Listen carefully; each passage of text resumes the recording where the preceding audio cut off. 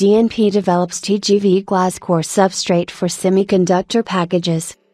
Dai Nippon Printing Co., Limited, DNP, has developed a glass core substrate, GCS, targeting next generation semiconductor packages. The new product replaces conventional resin substrates, X, FCBGA, flip chip ball grid array, with a glass substrate.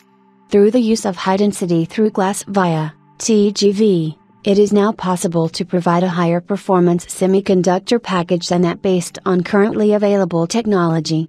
In addition, by adapting our panel manufacturing process, the new product can also support demands for high efficiency and large scale substrate.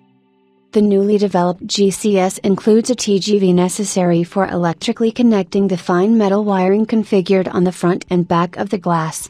It is a conformal type glass substrate in which a metal layer is adhered to the side walls of the via.